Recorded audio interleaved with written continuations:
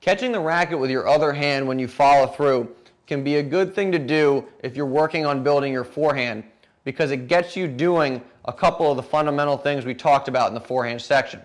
First, it'll make sure that you follow through all the way. If you're going to catch your racket over here, the racket has to go from contact all the way around to over here. So some players will stop short in their follow through. This will force you to continue your follow through all the way around. Second, it'll have you following through in the right way. Some players will hit and then their arm structure will break down.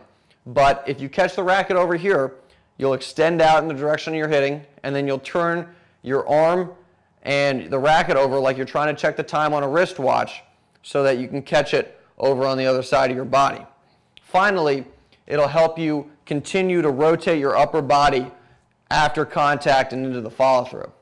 That said, you don't have to catch the racket with your other hand when you follow through. There are a lot of players out there that when they fall through, they'll fall through high, but their other arm will stay over here somewhere. They won't catch it with their other hand. So it's a preference thing, it's a style thing. And I'm one of those players. I'll hit, and a lot of times when I follow through up here, my other hand will be over here somewhere. And what that means is you can catch it, it can help you with some things, but you don't have to. Let's compare Oliver and Frank's follow throughs side by side.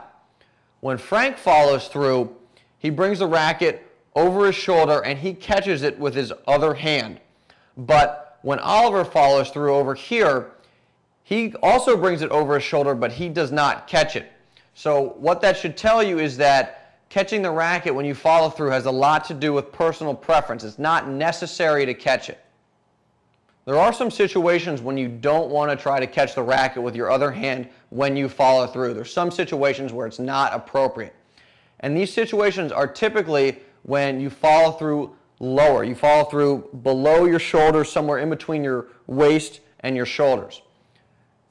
It's relatively easy to catch the racket when you follow through high. But the lower you get, the more awkward it becomes when you follow through to try and catch it with your other hand. So typically, when you fall through, the lower the fall through is, the less likely you are, the less appropriate it is for you to try and catch the racket with your other hand. In this forehand, Oliver's going to fall through a little bit differently. He's going to fall through lower in between his shoulders and his waist. And you can see that here. This is called a windshield wiper forehand. So the racket's going to come up and then down. And at the completion of his fall through here, the racket again is below his shoulders.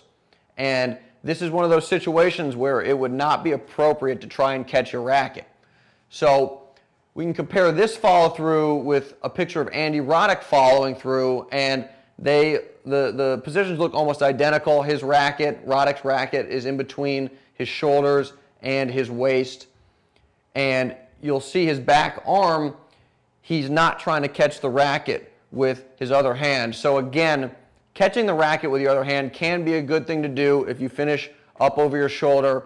It'll get you doing a lot of the fundamentals you need to have a successful forehand. But trying to catch it all the time is not appropriate. There's some follow throughs where it'll actually hurt if you try to catch the racket with your other hand.